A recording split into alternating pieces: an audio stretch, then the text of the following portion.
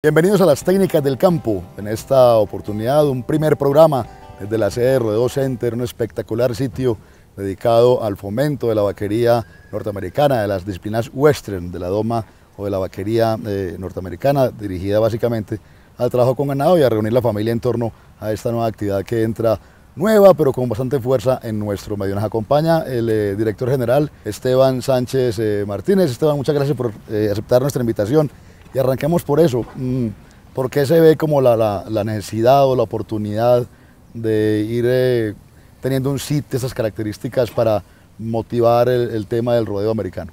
Te voy a contar por qué y muchas gracias por la invitación. Primero que todo quiero hablar un poquito como de, de dónde nace toda la historia. Toda esta influencia de caballos cuarto de milla y del rodeo viene del oeste americano.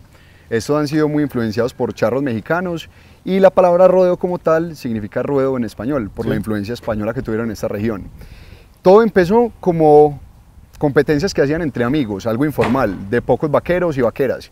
Fue creciendo y fue creciendo y en este momento, en las finales, eh, las competencias finales que hacen en Nevada a final de año, se reúnen más de 175 mil personas para visitar y ver las competencias. Son más de 100 vaqueros en finales, 10 finales seguidas en la noche y más de 5 millones de dólares en premiación.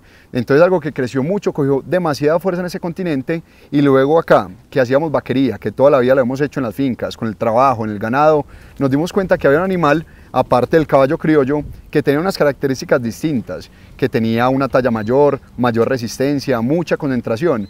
Por eso fue que empezamos a cruzar. Entonces, nosotros como colombianos siempre hemos sido como muy curiosos, ¿cierto? Empezamos a cruzar razas criollas con otras razas de un tamaño mayor para sacar animales más rústicos y de trabajo y luego fuimos trayendo animales de a poco, los cuales iban metiendo dentro de la caballada nacional, sacando crías puras y mestizas que eran mucho más aptas para el trabajo. Es lo mismo que en las competencias. El rodeo se caracteriza por manejar varios tipos de caballos, entre ellos está el cuarto de milla, la palusa y el pinto americano. Sin embargo, en la vaquería criolla, que también es algo que se ve mucho en el país, utilizan criollos y mestizos, animales que dan muy buena llegada a la novilla, que permiten hacer las pruebas con mayor confianza y mucho más entrenados obviamente. Entonces podemos decir que esto, digamos que es un asunto eh, en su origen, digamos que es común tanto para norteamericanos como para colombianos, desde el punto de vista que son actividades que se hacían en campo. O sea, la característica del rodeo de la vaquería norteamericana, pues eso nace en la finca, en el rancho, Exactamente. en el campo. Lo nuestro también, obviamente hay diferencias en cuanto al tipo de callo en que lo hacemos, al tipo de topografía en que estamos, obviamente estamos en el trópico, al tipo de ganados que tenemos y a los materiales y a la cultura, obviamente. Totalmente. Entonces, la influencia no solo fue a partir de los caballos, sino que viene una cultura que arraiga todo este tema. Vienen los caballos, vienen las monturas, viene la vestimenta. Todo. Exactamente, y eso es muy lindo, pues eso es lo que hace ver esas competencias como algo diferente. Viene una familia completa, una familia vaquera con su niño de 5 años, el papá de 40 y los dos haciendo un equipo de team penning encerrando ganado. Eso es lo lindo del asunto. El rodeo acá en Colombia también ha cogido mucha fuerza. Hay criaderos especializados con muy alta genética que le ofrecen a la caballada nacional sus ejemplares registrados. O sea, Osaka puede ser miembro de la ACUA, que es la entidad internacional que avala eh, todos los, los, registros de caballos, todas las competencias, eh, las competencias que demos acá son avaladas por ellas. Eh, te dan el registro, puedes tener un caballo puro igual que lo tuvieran en Estados Unidos, como membresía, te dan las premiaciones, te da puntaje. hemos llegado pues como a un buen nivel.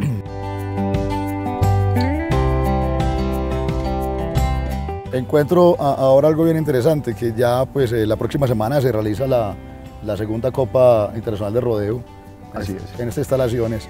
Eh, mm, quiero que, que, nos cuentes, Esteban, eh, pues hombre, la invitación a la familia, me parece muy interesante porque son familias, empresarios, eh, gente que de repente arrancó a aprender, o sea, que no necesariamente estaban, nacieron con, con, con ese tipo de, de vocación, sino que le fue gustando y fueron encontrando el gusto por esa actividad. Entonces la próxima semana justamente tenemos la segunda Copa Internacional de Rodeo.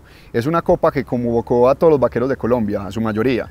Viene gente del Llano, de Pereira, de Manizales, de Bogotá, viene gente de Venezuela. Entonces traemos como una muestra muy representativa del talento que hay en Colombia, en el rodeo. Traen ejemplares, vienen criaderos muy importantes y justamente es eso, es traer a la ciudad, al lado de la casa, de todas las familias, un evento familiar, porque es de carácter familiar, donde pueden apreciar el máximo nivel del rodeo en Colombia. El caballo cortemilla, hablemos un poquitico del caballo cortemilla como digamos como el exponente máximo del rodeo americano.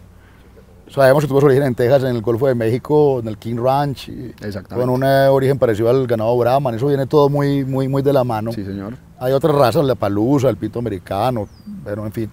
Pero hablemos, entramos un poquitico en el, en el, en el, en el, el caballo cuarto milla americano. ¿Cuál es el, encanto de ese caballo? Porque es el caballo, en mi concepto, el caballo más popular del mundo. Sí, es popular y en todos los continentes.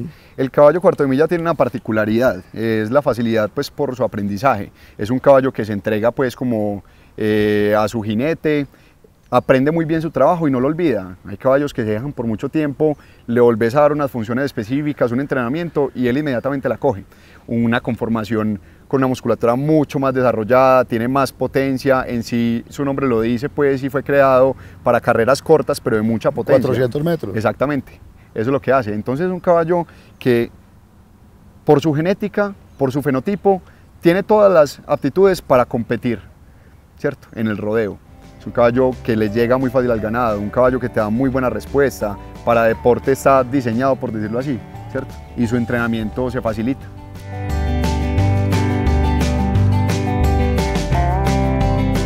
Es válido que tengamos este, este tipo de expresión deportiva que es foránea, es norteamericana. En España tienen las suyas, en Argentina tienen las suyas, en nuestro criollo es el coleo y nuestra vaquería criolla también igualmente. Pero eh, aquí hay que ser, digamos, que un poquito, eh, digamos, eh, objetivos con el tema. ¿Qué nos, ¿En qué mejoraría, en qué incidiría el caballo cuarto de milla cruzado con nuestra caballada criolla para el trabajo de campo. Sí, y eso se está viendo mucho. Tú visitas una finca en el Magdalena Medio y ves que aunque todavía hay vaqueros trabajando en mulares y en caballos de talla pequeña, mejora la genética para el trabajo porque aumenta inmediatamente su talla y le da un toque de rusticidad también mejora su aprendizaje. Como te digo, es una conformación diferente. Entonces nosotros tenemos caballos, que son unos caballos muy bonitos, con un fenotipo pues increíble y reconocido a nivel mundial, y le aplicamos ese toque de rusticidad, de trabajo, de tamaño. Ah, hay un elemento que es eh, la parte, digamos, gremial, ¿Sí? que me parece muy interesante porque hay un respaldo muy serio desde, desde la ACUA en los Estados Unidos. ¿Cómo desde los Estados Unidos se puede trabajar la parte gremial y cómo se articula o sea, con, con, competencias en Colombia, o sea, cómo se hace ese, digamos, esa comunicación, ese, ese puente de comunicación desde la ACO Estados Unidos a Colombia, somos certificados o no, hay puntajes, se puede monetizar los premios, hablamos un poquitico del tema.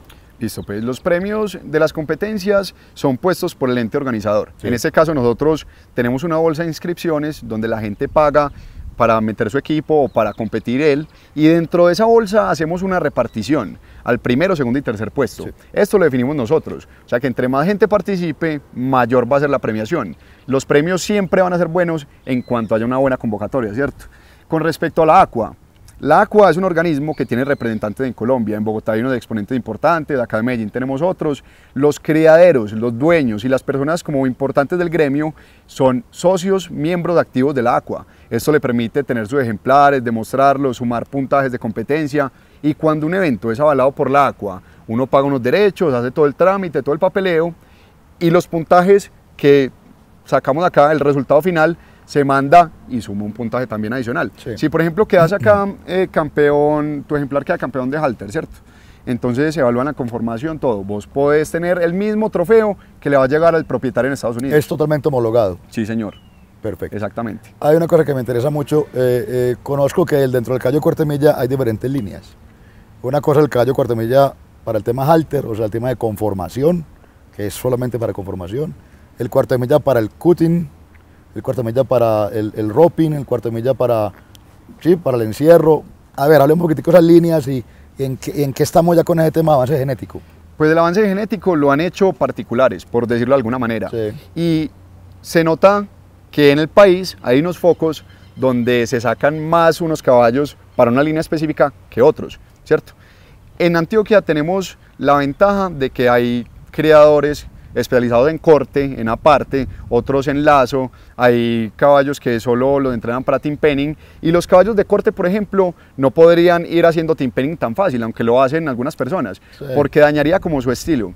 ¿Sí me Pero tenemos la línea genética en Colombia en este momento, en el llano, en Bogotá, en Antioquia, para sacar caballos de muy alto nivel competitivo en todas estas líneas y las diferencias son notorias pues desde su crianza, desde su genética, todo va influenciado.